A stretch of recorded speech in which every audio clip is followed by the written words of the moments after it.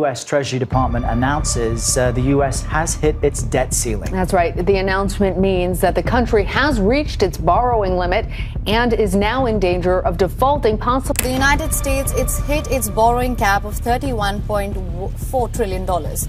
The Treasury has now started taking extraordinary measures to prevent a debt default.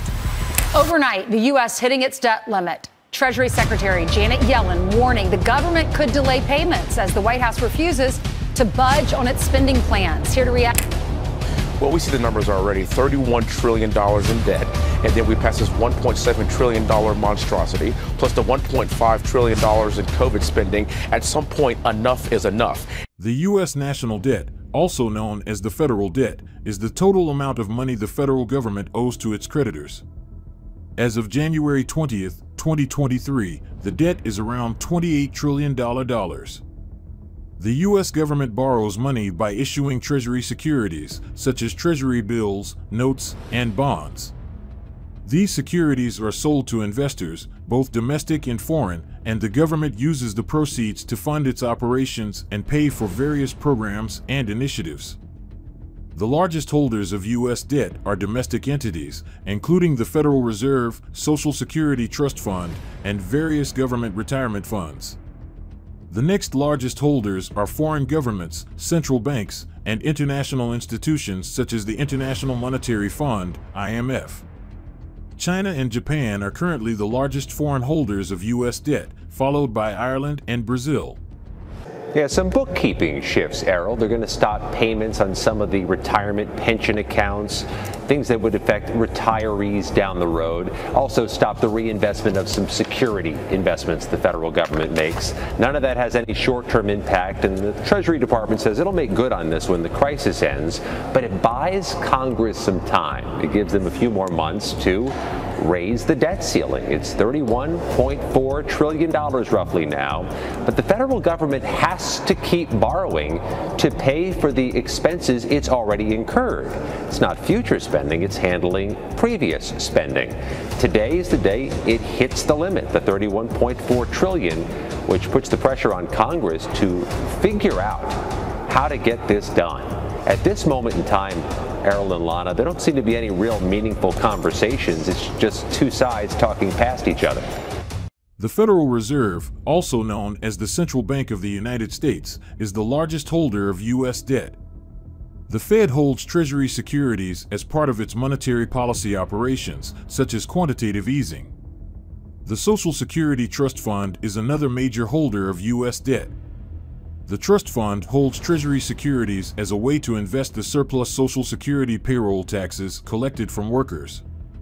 Foreign holders of U.S. debt, including governments and central banks, hold Treasury securities as a way to invest their foreign exchange reserves. They may also hold U.S. debt as a way to diversify their portfolio of investments. We're all learning to deal with it. We go to the grocery store, everything's more expensive. We can't buy certain right. items. And we've learned to handle that as American households, but our governments can't seem to do this. The Democrats' response to this was what? 87,000 IRS agents. And I'm here to tell you that we don't have a tax revenue problem. It's clear that we have a spending problem. The U.S. debt has been increasing over the years, and it is projected to continue to grow in the future. The main drivers of the increasing debt are entitlement programs such as Social Security and Medicare, as well as defense spending and other government programs.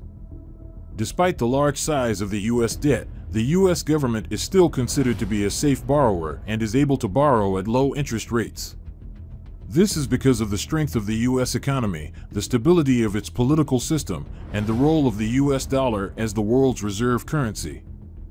It's also worth noting that some experts argue that the U.S. debt is not a problem as it is mostly financed by the U.S. citizens and the interest rate of the debt is low and the debt to GDP ratio is still manageable. However, others argue that the increasing debt levels could pose a risk to future generations, and the U.S. should focus on reducing its debt levels to avoid any potential economic crisis. Some people or businesses might not get paid who are expecting to be compensated by the federal government in particular programs.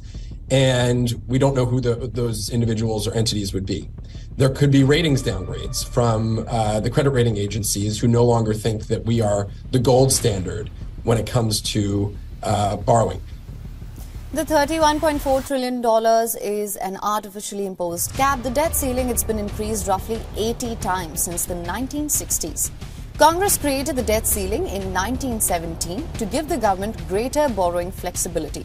And it must approve each increase to ensure that the United States meets its debt obligations and avoids a catastrophic default.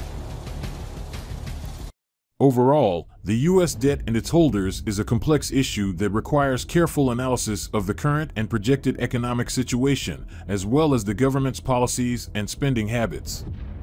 The debt to GDP ratio is a commonly used metric to gauge the sustainability of a country's debt, and the U.S. ratio is currently around 130%. However, a rapidly increasing debt to GDP ratio can be a cause for concern and can lead to inflation and other economic problems if not addressed.